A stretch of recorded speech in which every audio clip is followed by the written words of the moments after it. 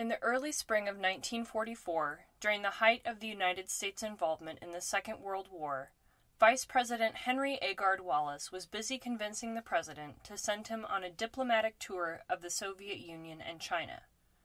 Considered by some to be a dreamer, Wallace's initial plans for his trip were far reaching and expansive, including stops in Moscow and the South Pacific.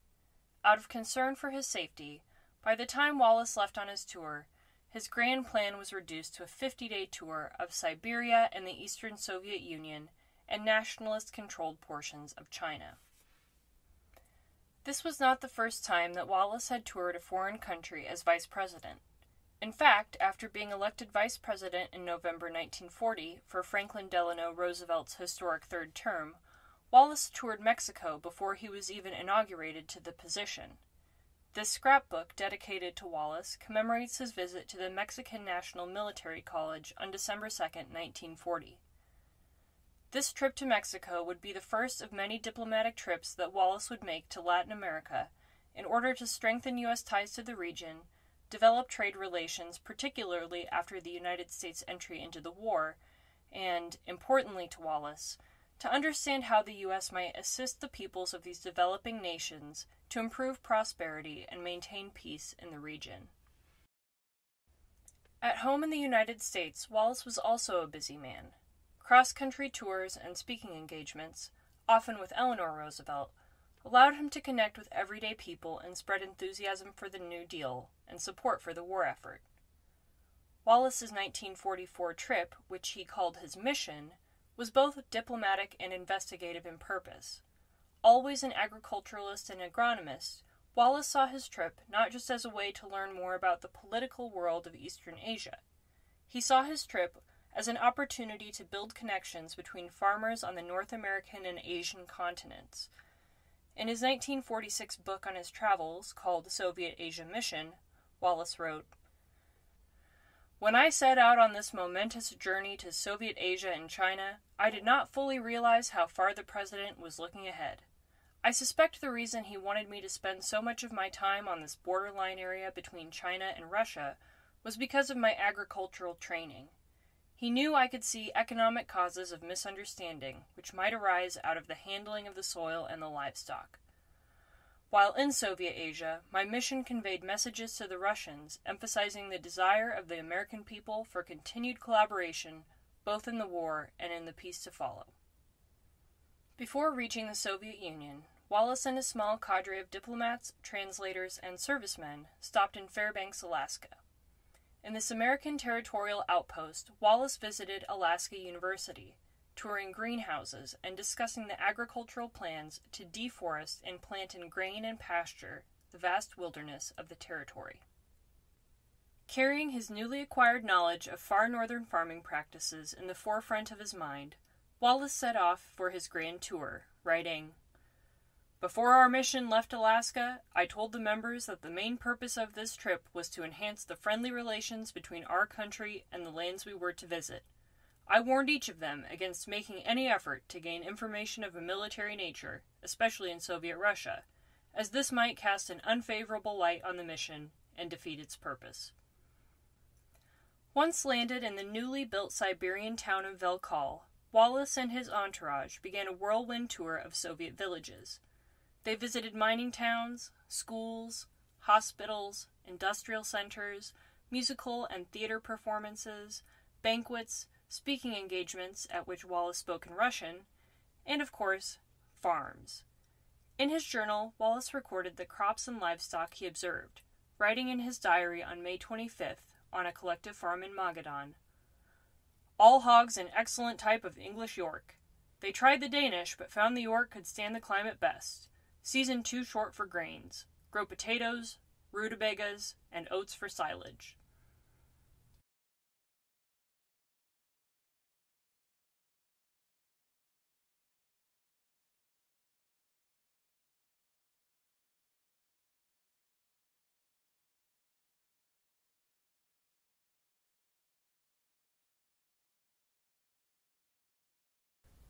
While in the Soviet Union, Wallace repeatedly recorded his favorable impressions of the Soviet military and common people. In Soviet Asia Mission, he wrote, I did not find the people of Soviet Asia difficult to understand, and I met persons in every walk of life, including many native Asiatics of non Russian stock. All robust minds, not unlike our farming people in the United States. Much that is misinterpreted here as Russian distrust can be written off as the natural cautiousness of farm bred people.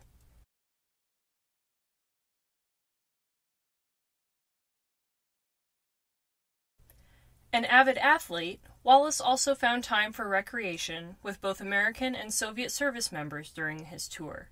These photos of Wallace's trip to Soviet Asia show the ease with which the vice president moved among everyday people, even working alongside them in the field.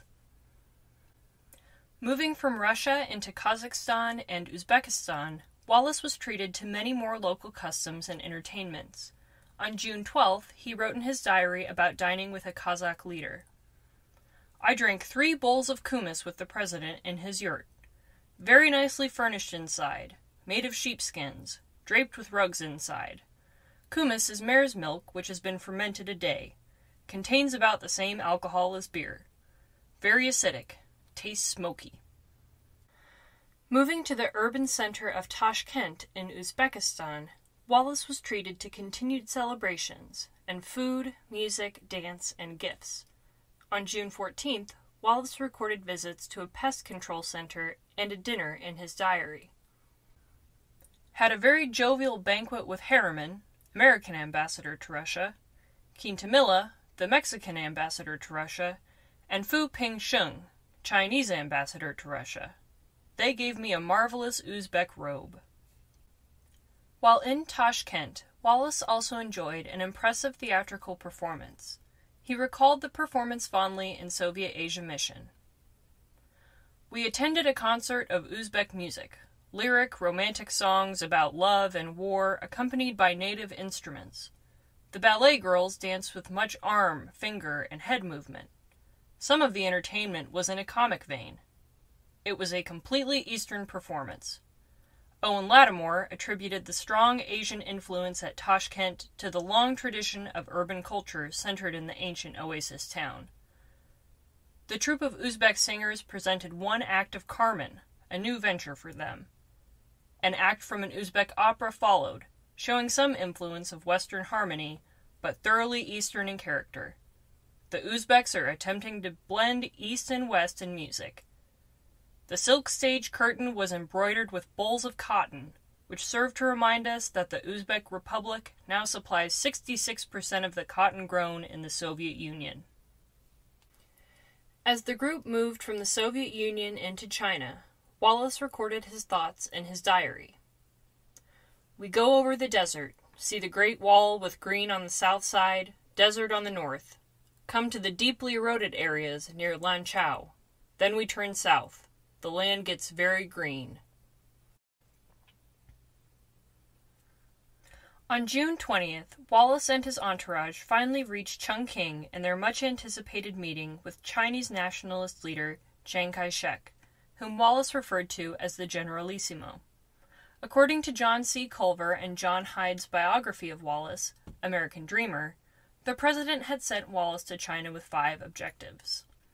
First, FDR wanted Wallace to discuss reining in Chinese hyperinflation. Second, he was to cajole the Chinese into involvement in the war against Japan and unify militarily with Chinese communists to do so.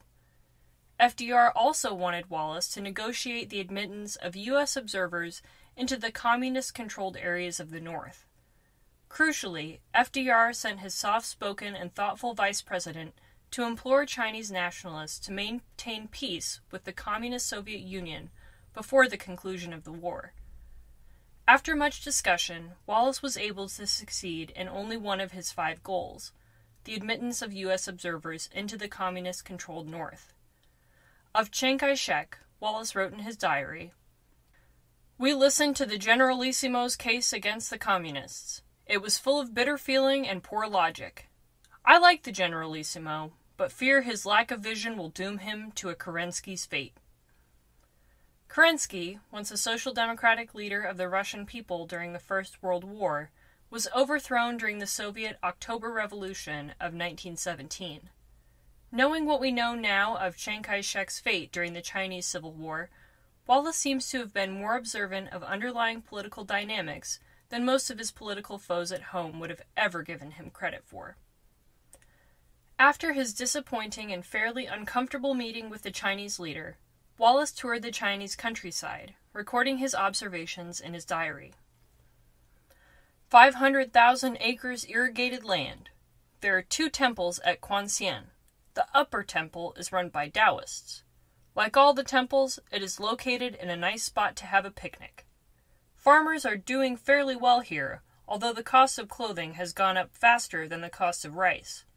Road is crowded with rickshaws, wheelbarrows, and two wheeled carts with auto tires. More and more hard surfaced highways are built. Pigs are carried to market belly up on wheelbarrows. During his trip, Wallace was given many gifts from the people and politicians he met. While in China, he was gifted this hand woven rug depicting waterfowl next to a body of water. This rug stayed in the Wallace family and was eventually given to his granddaughter Diane. While living in Boulder, Colorado, in 1985, Diane Wallace took the rug to H. Metal Sarkisian for cleaning. Ironically, Mr. Sarkisian had started the cooperative where the Wallace rug had been woven before immigrating to the United States. This one of a kind piece with a unique story is now part of the Wallace Centers of Iowa's permanent collection. On July 5, 1944, Henry A. Wallace returned to the United States. While disappointed with the results of his political mission to China, Wallace came home enthusiastic about the future of U.S. relations with the Soviet Union. Before he could fully report back to the President about the details of his travels, Wallace had to attend the Democratic National Convention in Chicago on July 19th. Despite popular support from many of the delegates at the convention, by the end of the week, Wallace was replaced as the vice presidential nominee by Harry S. Truman. Two years after being removed from the Democratic presidential ticket, Wallace's enthusiasm for his historic and perhaps most important trip as vice president had not waned. In his book Soviet Asia Mission, he wrote In 1946, I am more than ever convinced that the peace and prosperity of the future depend on the United States and Soviet Russia living together harmoniously as fully participating members of the world organization.